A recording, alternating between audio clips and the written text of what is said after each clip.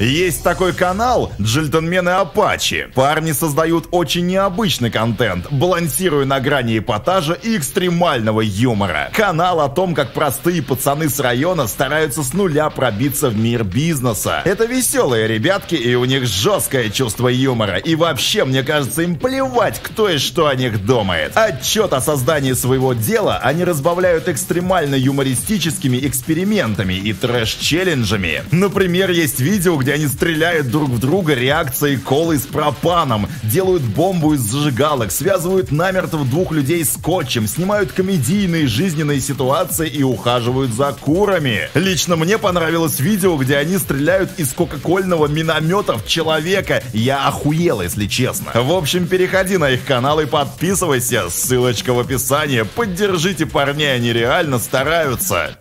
Упало мыло в душевой, мне ничего уже не страшно, а за окном идет конвой. Сижу я тихо у параши, сижу я в клетке 20 лет, за что сижу уже не помню. На двери ржавый шпингалет, и это все, что я запомню.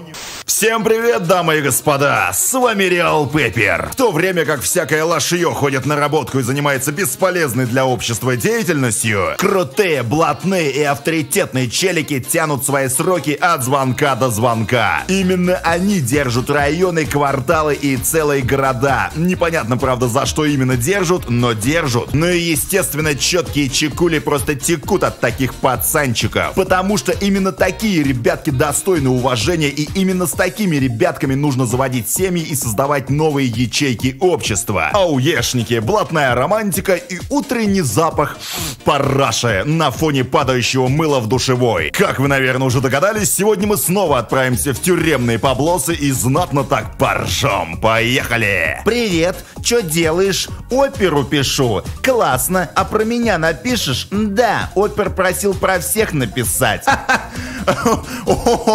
Вот это шутейки подъехали. Не, ну я думаю, перед чернухой, которая творится в этих поблосах, самое то э, шутейку прогнать. Чего не смеетесь-то? Не смешно? Не поняли, да? А вот такие там шутейки, других пока не завезли. Ребят, всем привет. Кто сталкивался с росписью в тюрьме? Хм, а какая именно вас роспись интересует? Городецкая? Может быть, гжель? Ладно, это я нестандартно стебусь. Понятное дело, что речь идет о бракосочетании, когда один из молодоженов внезапно отъехал в санаторий, в Магадан или еще какой-нибудь прекрасный город наши необъятный. Долго ли? Какие документы нужны? Насколько долго? Это зависит от самой путевки в парашный санаторий. А вот насчет документов я бы вообще по этому поводу не парился бы. Если ваша роспись проходит в тюрьме, нахуй вообще о чем-либо париться. Жизнь удалась на все сто процентов. Примерно как у этих ребят. Вот они, походу, вообще не парятся насчет росписи или каких-либо документов. Им и так все заебись. Сейчас станцуют брачный танец и жариться начнут, что аж перья в разные стороны поразлетаются. Подскажите, могут ли дать второй условный срок по статье 158?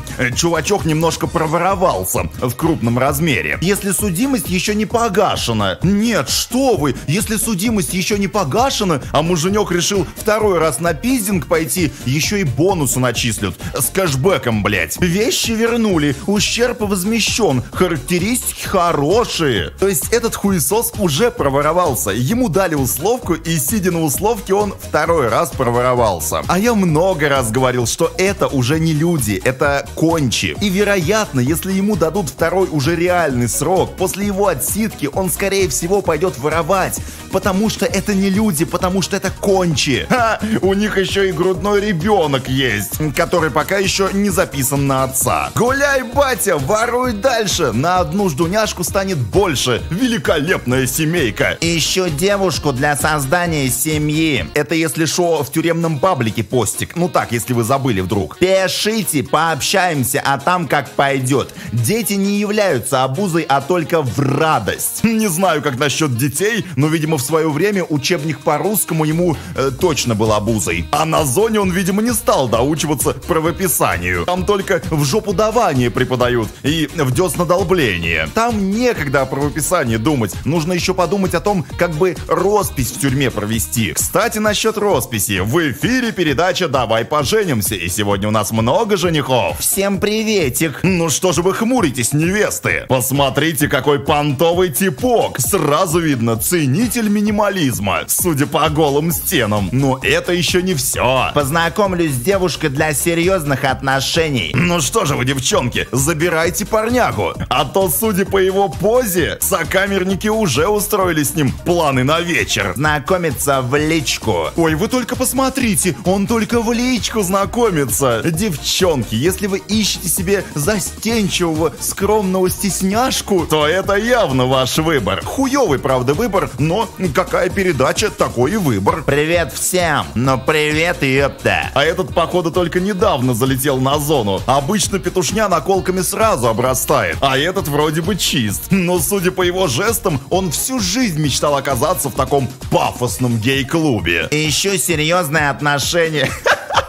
Мне кажется, ты их давно уже себе нашел, чувак. Серьезные отношения с товарищами-ментами и блатными камерными кентами. Настолько серьезные, что жопа от вечера к вечеру не успевает восстанавливаться. Всем привет. Зовут Вячеслав. Хочу серьезных отношений. Я смотрю, здесь все прям такие серьезные, клоунов нет вообще. Особенно вот этот. Судя по реквизиту на лавочке, он реально серьезно настроен на победу. Победу над здравым смыслом, судя по всему всему. Ну или под заборной шалашовкой, которая согласится встретиться с ним. Ну да ладно, пора бы нам встретить невест. Готовых, судя по всему, в этой жизни уже на все и на всех. Внимание, перед вами не абы кто. Это настоящая принцесса. Ищу хорошего мужчину для создания семьи. Принц, откликнись. М да, видимо, принц забил хуй, и принцесса немножко перебродила в башне с драконом. Мне даже жалко жалко дракона. Он бы и сам хотел бы избавиться от нее. Даже объявление на Авито подал. Но что-то никто не откликнулся. Оу, какая жаркая! Вот это я понимаю. Романтический взгляд. Я бы на месте тех, кто ищет себе невесту на зоне, отдал бы за нее все. Ведь таким горячим взглядом можно и тюремную решетку расплавить. Просто общение. Да,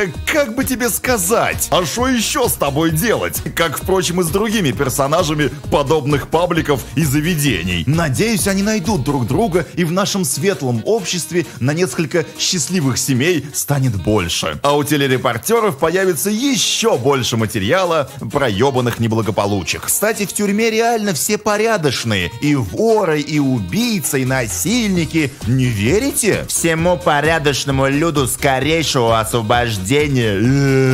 Ну сразу видно, порядочность так и прет. За что их всех посадили, ума не приложу. Вот этот вообще, судя по всему, мастером спорту по бильярду был. В том числе и карманному. Он настолько профи, что играет с сигаретой в зубах. Даже не думая своей кочерышкой, что может уронить пепел на сукно. Да и еще не смотрит на шар. Ну и правильно, по-другому только лохи играют. Хочу познакомиться с хорошей девчонкой для общения, а дальше больше. Я нахожусь в местах не столь отдаленных.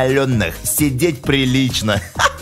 В смысле, а дальше больше? Если сидеть тебе на зоне прилично, что именно ты имел в виду под фразой «а дальше больше»? Ты предложишь ей залететь от тебя на одной из свиданок? Всем привет! Довольно тоскливо и хочется просто с кем-то поговорить по душам. Ну что я могу сказать? Ему вот тоже тоскливо. Ищет серьезных отношений. Правда, ищет он девушку лет 40-35. Но я думаю, и ты сойдешь. Для разнообразия, скажем так. Зато есть один большой плюс. Никто из вас не сможет залететь. Здравствуйте. Скоро суд по статье 222 и 228. Какая максималка и минималка может грозить? Ну что тут думать-то? Вот минималка, а вот максималка. Ну на всякий случай лучше к максималке готовиться. Как говорится, надейся на лучшее, но готовься к худшему. А сейчас драматичный текст со смыслом. Не судите вы тех, кто не в воле. Не желайте им боли и зла. Да я, в общем-то, никому из них зла и не желал. Мне как бы насрать. Есть обычная, нормальная людская жизнь. Правда, нормальность понятие растяжимое, но все же. А есть доля воровская.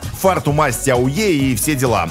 Каждый выбирает свое. Непростая им выпала доля. Их судьба от тюрьмы не спасла. Ой, вы только послушайте, судьба их от тюрьмы не спасла. Сначала накосячит на свою тупую башку, А потом, видите ли, поймали. Судьба от тюрьмы не спасла. Он всего лишь не хотел работать, но хотел иметь бабосики, а тупой башкой думать сложновато. Поэтому и пришлось ограбить прохожего, ну или ларек. Судьба от тюрьмы не спасла. Они всего лишь хотели с друзьями попить водки, пока малыш уснул в другой комнате. Но это чертово застолье привело к поножовщине. Судьба от тюрьмы не спасла. Вы не знаете жизни до зоны, что порой им пришлось проходить. Интернаты, детдомы, трущобы. Ой-ой-ой, вот только не надо давить на жалость. Жалко у пчелки в жопке. Никто не виноват, что отребье плодилось словно кролики под бутылку водки и забивали потом болты на свое потомство. Давайте пожалеем их.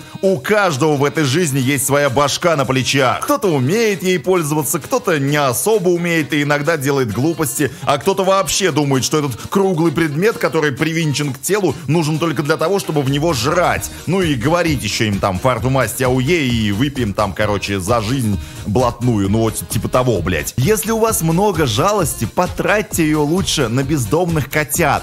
Поверьте, это гораздо лучше, чем тратить ее на всякий сброд, который плодится без остановок, а потом идет воровать. Возможно, это жестко звучит, но это реалии жизни. И своими погаными песенками с текстами обезьян лично меня не разжалобить. Я считаю, что преступники должны сидеть на зоне. Я не знаю, какое ваше отношение к подобным роликам, но судя по лайкам, дизлайкам, все-таки положительное отношение. Ну вот как-то так. Подписывайтесь на канал, ставьте лайки, пишите комментарии, также не забывайте вступать в группу ВКонтакте, ссылочка в описании.